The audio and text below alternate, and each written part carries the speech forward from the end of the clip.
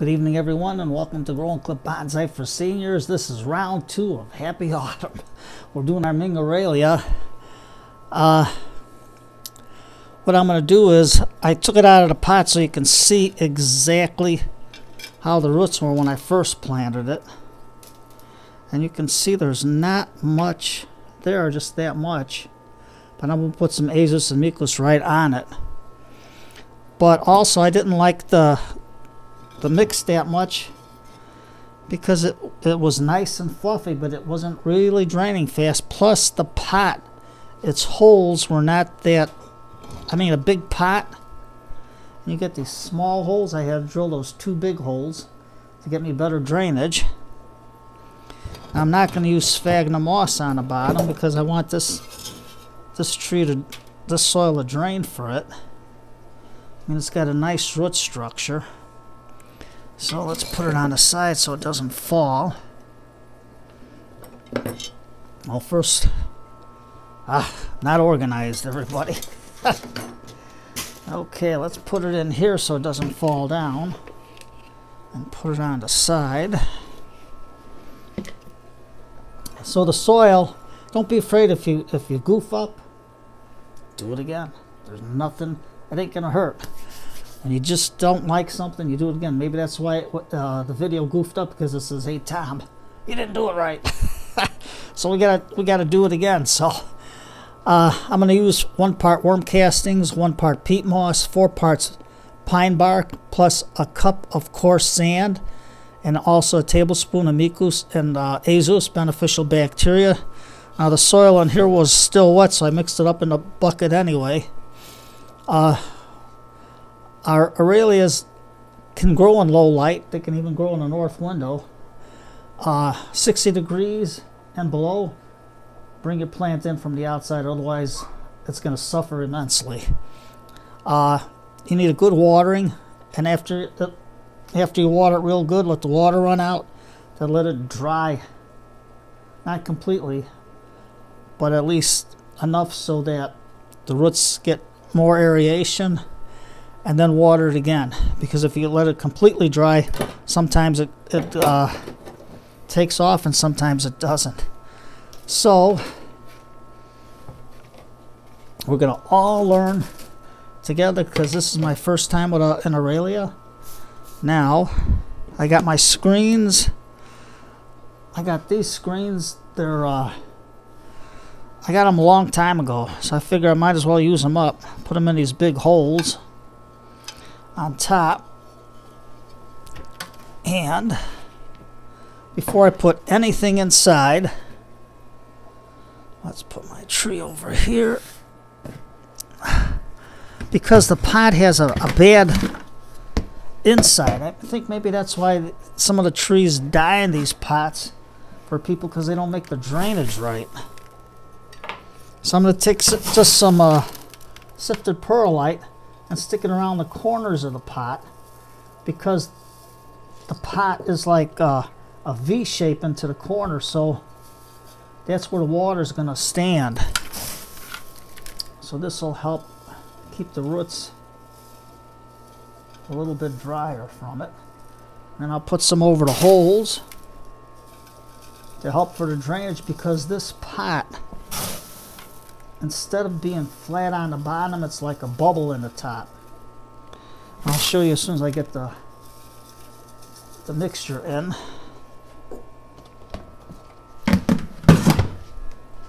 So instead of the pot going this way, the pot is like this and it comes up. And then in the corner, in the crease, it's like a V in there. So that's all a potential hole in water. So, you know what?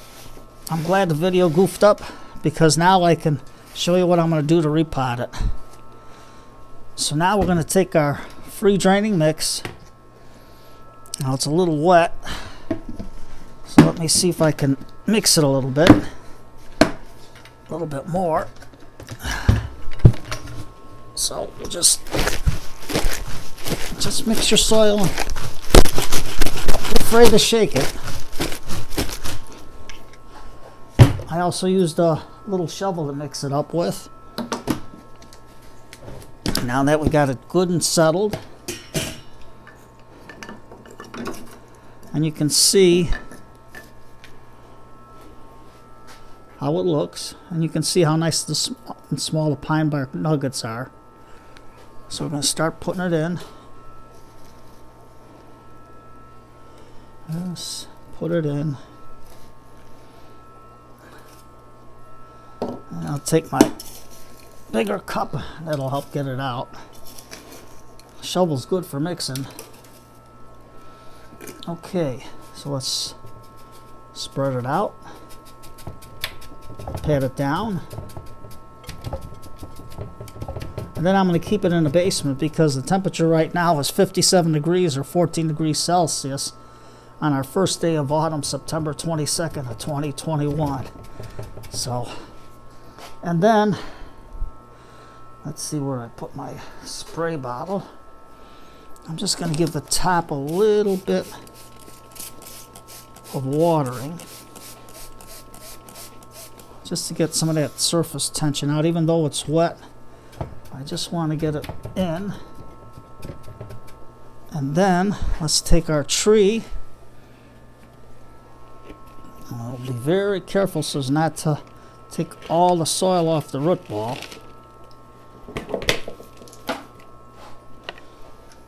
there we go you can see the, the real fine roots on it and it's we'll have to pick a side again can we have it this way? Or should we have it in a pot this way? Maybe this way. So, let's hold it up. I'll use my knife to hold it up. And what I'll do is, I'm going to take some Azos and sprinkle it on the roots. And you can see with the knife, my potting knife, that it's uh, even with the pot, so that's good. So we're going to take some uh, Azos, a nice tablespoonful. And I'm just going to hold it up and just put it all over the roots. And all on the inside there. And then, let's close up our bag so that we can uh, keep it from getting contaminated.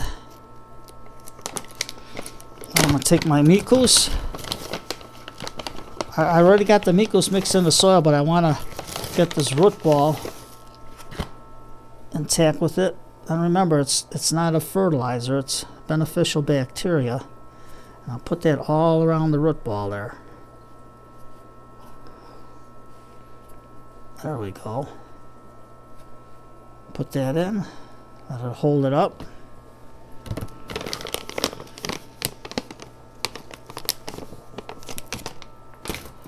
Okay. Now, let me see if I can put a little closer for you. You can see the uh, beneficial bacteria all on the bottom so it makes good contact with the root ball. Get some of them clumps out of there. Now how do we have our, we're going to have this as our front. So what I'm going to do is have the knife here to hold it up so we can get some soil into there. Now you notice there's hardly any roots by it. It's just a cutting that they stuck a stump. So hopefully this will all work out for the best and get it to root. So see, when something doesn't work out, there's usually there's usually a reason for it. And the reason is I didn't like the holes in the pot. And I didn't like the soil, which I should have put more, uh, I should have put more sand in. I mean, when I first did it, I should have put sand in. Because we want it likes a nice draining soil but moist and if it lightly dries out then you gotta when it lightly dries then you gotta water it so you just gotta do the best you can with with what you got so and always check your pots if the holes are small Get, if you don't have a drill, get somebody to re-drill it. I use a, now this is a clay pot, but I use a diamond drill bit on it. There we go. Something like that. That's our front's like this. So it'll look pretty good, hopefully. Now we'll get our shovel. And let's get some more soil in there. Now this soil is alive because in the first video I also put a lot of Mykos and Azos a tablespoon around the root ball. So now we got enough in there to keep this tree alive.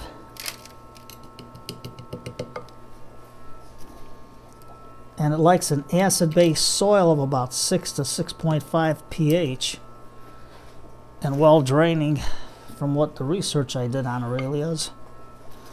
So, and then for pruning, they say it's always good in the, in the late fall when it gets cool outside and repotting in the spring, but we got we got to take our chances because the in the in the container it came in you can see that it's the pot's pretty well like that and it's got some uh, bottom in there for it to drain but why leave it over the winter time like this when we can just put it in and repot it so there we go let's press it in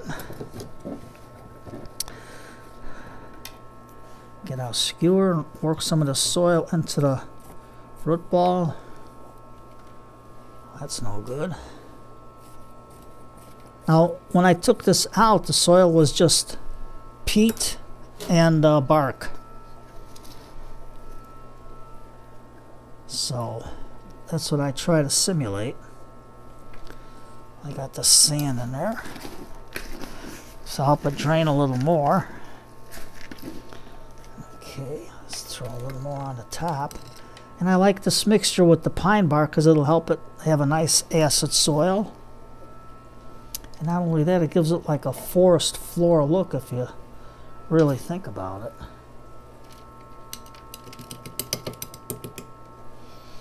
Try that. Let's get it in. Now if your soil is dry, try to spritz it with a spray bottle. There we go.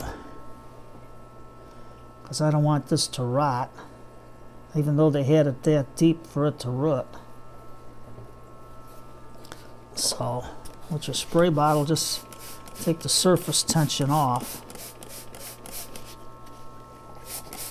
And just water it in. Hey, we all make mistakes, we're human. But you live and you learn. If he didn't make a mistake, he ain't gonna learn. There you go. Just like that. We'll get a little bit more over here. Our shovel.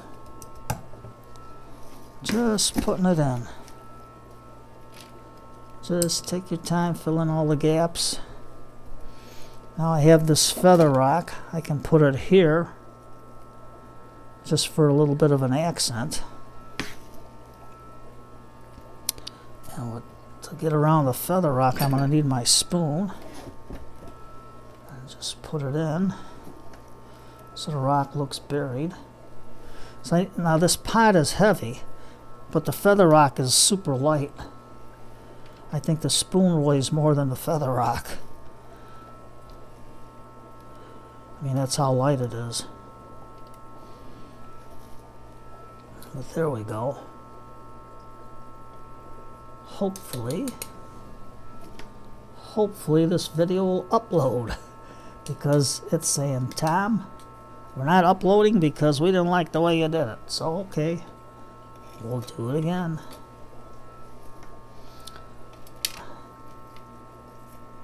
And you don't want to be I don't want to be perfect and say, oh, look what I did. And then have to redo it because I didn't like it in the first place.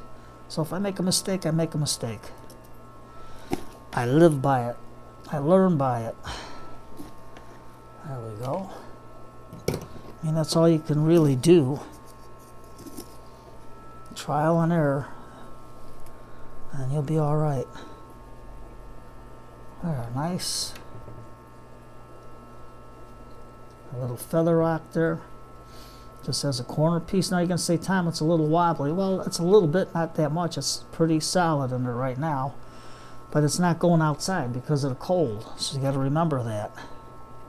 I'm not going to leave it outside because right now it's getting cold out.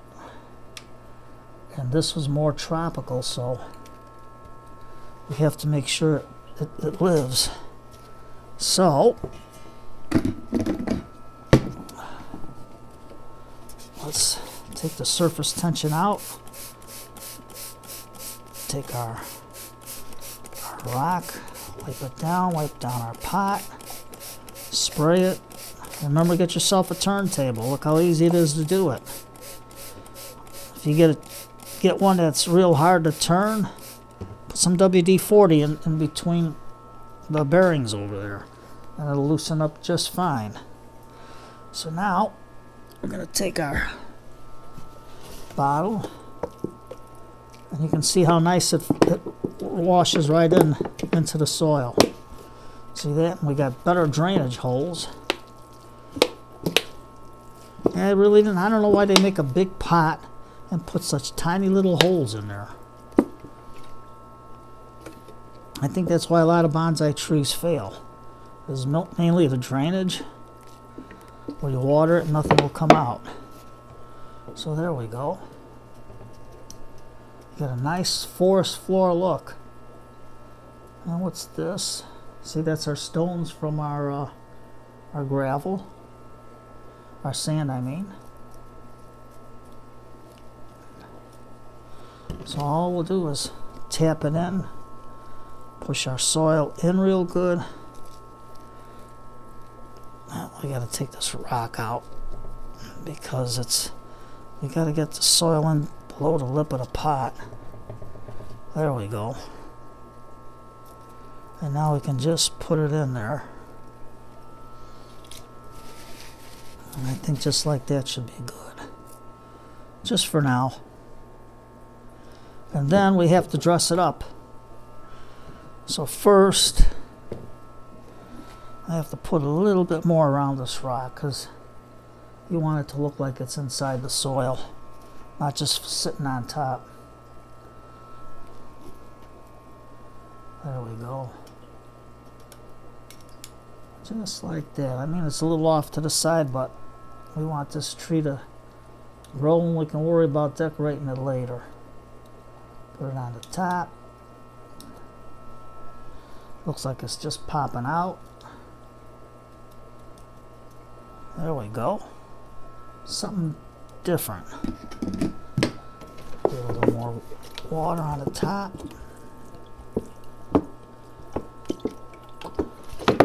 And there. Now we have it. Take our paper towel and wipe our pot off. I think it looks good from both sides as a front, but we'll find out once it starts growing, and then we can always pick the front later on. They said you can plant it annually, but they like they say that also that when the tree becomes a little bit pot bound, it grows a little better. So I don't have a small uh, pot that I can, can put it in. That's just a little bit bigger. We'll have to try one for the Fabian. Let's see if I can find something. But there you go. There it is. There's our front. Now, I have a little from Hobby Lobby, the little truck. We can put that and decorate it for Halloween, for uh, the fall. I can put it over here little truck driving around and then from Hobby Lobby I got my little squirrels and we'll put our little squirrels in we got one because what's a tree without a squirrel making its home then we got another one like this have them going around their tree gathering nuts and there we go now we have it so hope this video uploads. It's another 20 minute video, so same as the other one, and the other one didn't want to upload. So I don't know why, but we'll try it out again. So today's uh, uh, Wednesday night, old time radio. Get a nice hot cup of tea. Put on uh, a good uh, detective show like uh, let's see, Boston Blackie, Dragnet, Gangbusters, whatever your favorite old time radio show is, and and sit back and relax and enjoy the rest of the evening. My name's Tom Novak for Growing Clip Bonsai for Seniors, and thank you for coming back to round two.